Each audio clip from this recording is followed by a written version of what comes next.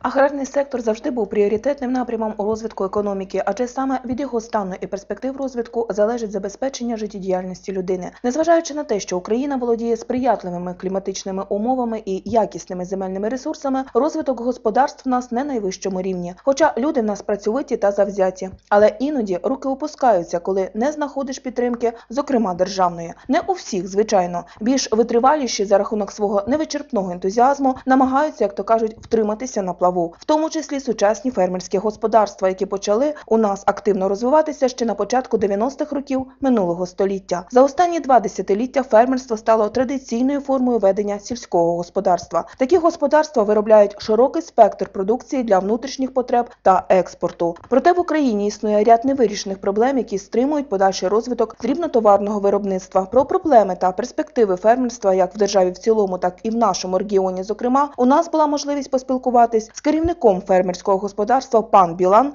Віталієм Біланом. Віталій зауважує, що бізнес у них родинний, а починали вони свій сільськогосподарський бізнес з 20 соток власної городини. Потім крок за кроком розширювались та розвивались далі.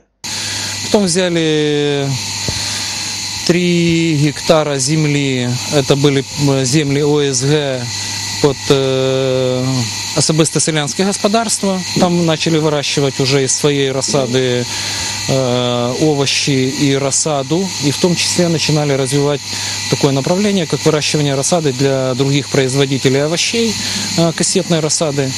Ну, степ-бай-степ стали набирать команду по мере своего развития и по мере того, насколько экономическая ситуация как бы нам позволяла. В те годы маржинальность процесса была чуть другая, и положение в сельхозпроизводстве, несмотря на такой переходной период, все-таки было более лояльным.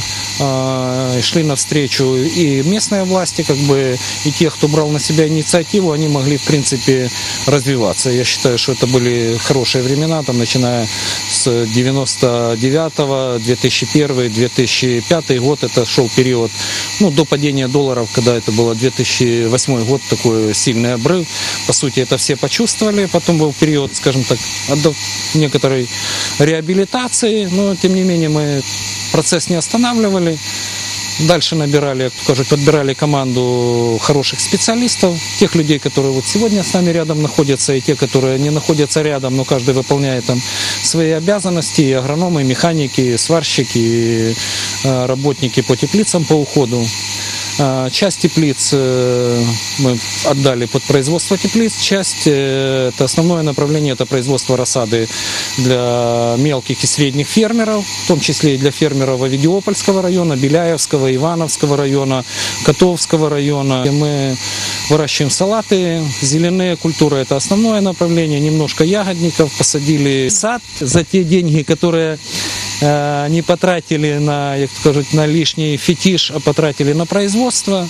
То есть каждый год мы вкладываем, мы не можем себе позволить э, лишних расходов на личные цели. Потому что если мы остановимся в развитии, в реконструкции производства, в обновлении машино-тракторного парка, то мы упадем Якщо ж впасти, то буде вже дуже важко піднятися, зауважує наш співрозмовник. Сьогоднішня ситуація в українській економіці така, що усі зусилля доводиться направляти на збереження та розвиток виробництва, на те, щоб не розгубити колектив, який формувався не один день. Адже ж Віталій дотримується креда, що кадри вирішують все, а тим паче професійні. Коллектив у нас э, стабильно оформлены, там 15-18 человек в зависимости от э, сезона. Если там зимой нагрузка чуть меньше, то летом мы добираем людей в зависимости от э, необходимости там, выполнения тех или иных операций. Но стараемся, ну, вы знаете, какая ситуация сегодня у людей. Им практически не за что жить. Поэтому те люди, которые к нам приходят на работу, мы их э, можем или временно оформить, или если этот человек пришел, ему достаточно, чтобы взять какую-то натуроплату, или чтобы мы оказали помощь, или ему персонально, или семье, или там громаде, то мы всегда как бы ну, компромиссно смотрим на эти вопросы. Сегодня основная наша задача э, сделать э, производственный процесс круглогодичный. І все це для того, аби взимку люди також мали роботу, зауважує Віталій. Бо залишити людей в осінньо-зимовий період без стабільного прибутку було б якось не по-людяному. Тож, як би не було важко, гарні відносини з колективом та партнерами все рівно лишаються на першому місці. у нас есть ответственность как перед людьми, так и перед теми э, партнерами, с кем мы работаем. Это я сейчас мы работаем и с торговыми сетями, и с э, логистическими центрами разными. И у нас уже есть, если мы сегодня Уйдем с рынка, да, мы не поставим в один год продукцию, то зайти потом снова подписывать договора и э, заключать э, какие-то намерения на будущее будет уже очень сложно. Поэтому, э, несмотря на то, что маржинальность э, процесса с каждым годом падает, да, и все равно без развития, без сохранения команды тут э, то есть мы каждый год собираемся в начале сезона, э, после сказать, подведения итогов, год начинается с того, что мы говорим, ребята, мы этот год прожили, мы сохранили команду, мы сделали вот такие-такие э, приобретения. Мы понимаем, что мы в некоторой степени не доплачиваем сегодня людям достойную зарплату только по одной причине, что мы должны это вложить э, в теплицу, в пленку, в трактор, фрезу, сеялку. И люди с пониманием к этому относятся, но они имеют стабильную работу, стабильный доход, они знают, что в любой момент, и таких примеров было немало, когда человек попадает в больницу по разным причинам, люди э, разного возраста и разная бывает ситуация, мы всегда оказываем финансовую помощь, материальную, или это у нас есть люди, которые э, там прошли Чернобыль, есть афганцы, есть люди, э, которые наши соседи по предприятию инвалиды, которым там на зиму им помогаем дровами, там газом и остальным. Это, э, не будем мы работать, завтра эти люди, к кому они пойдут? Тут до розмови долучається дружина Віталія Ірина, яка зауважує, що і своїх дітей вони намагаються виховувати у такому дусі, а саме в дусі патріотизму та готовності завжди протягнути руку допомоги ближньому. При цьому наголошує, що, хоча бізнес у них і родинний, але дітям вони не нав'язують свій спосіб життя та заробітку, а дають їм змогу знайти себе де-інде. Сколько деток? Ну, у нас в общей сложности пятеро. Кто в активном поиске, а кто все-таки вот на сегодняшний день уже, уже решил, что будет помогать дальше? Мы пока, мы- да, да, пока мы активно работаем, э, мы даем возможность им поискать себя, получить э, определенные навыки в этом бизнесе. Мы им рассказываем о перспективах сельского хозяйства э, в том числе. Поэтому кто-то, дочка учится, бухгалтер заканчивает сейчас ну, еще один год, это бухучет и аудит в университете. А Второй сын э, закончил бухучет сельхозинститута, там у него отдельное свое направление. Значит, мальчик, которого видели Максим, он там заочно закончил аграрный университет, э, ландшафтный дизайн. И, ну, больше сейчас, э, душа больше лежит к логистике, поэтому он занимается поставками продукции. А, Еще один сын, он занимается на менеджер Ну, мар- мар- на Мар- маркетинге, да, да. И сейчас э, работает в другой фирме, пока горит там. Ну, может Да. быть, со временем. Ну, пока еще маленький. 20 лет чуть Да, они активно, нам приятно, например, что они получают опыт, в том числе в других компаниях, они видят, э, они могут сравнить.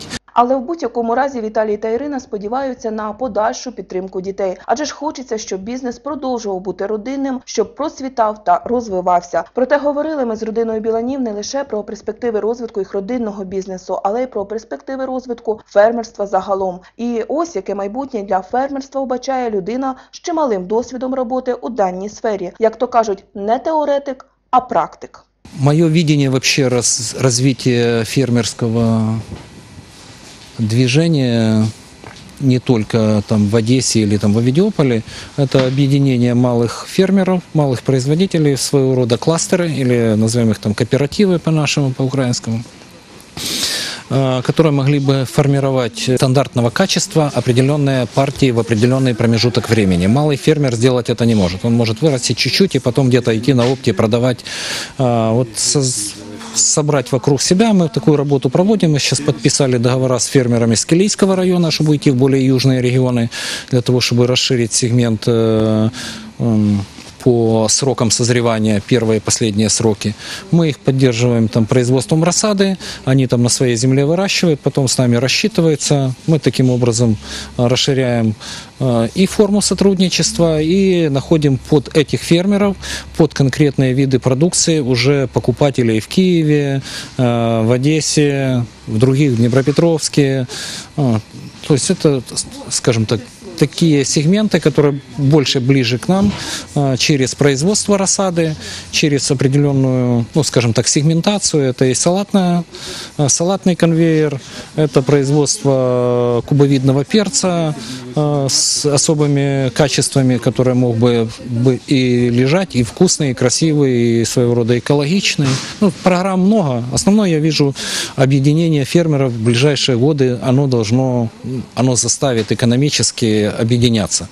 Э, В противном случае тогда можно будет совместно использовать технику, совместно использовать э, тепличные комплексы, совместно использовать землю, совместно загружать холодильники. Холодильники должны быть, холодильники или любые РЦ должны быть загружены 12 месяцев в году, должна быть оборачиваемость склада, тогда будет удешевление на логистике, на таре, на упаковке, то есть когда это будет делаться в объеме. Тогда, я думаю, будет возможность как бы каждому фермеру получать э, свою ну, уверенную, скажем так, реализацию, а уже от того, насколько он будет эффективно работать, будет зависеть там, степень его доходности. Наостанок Віталій зауважує, що вже дуже хочеться стабільності в державі. Буде стабільність на державному рівні, буде стабільність і на місцях. Мы тоже, как э, активные члены общества, переживаем и за правительство, и за наших депутатов, и за то, что происходит и в Верховной Раде, и в местном совете, потому что это а, стабильность. Без стабильности а, в бизнесе не может быть развития. Человек должен понимать, что я, если буду вкладывать, я должен вкладывать это не на так, не на месяц, не на два, или на один день, как купи-продай, а на год, два, три, четыре, пять, иметь какую-то перспективу отсюда и должны быть стабильные отношения с администрацией, здесь должны быть стабильные отношения с э, держресурсами, с э, службой регистрации, со всем тем, чтобы развязала руку предпринимателям, они могли достойно работать и чувствовать какую-то уверенность в будущем.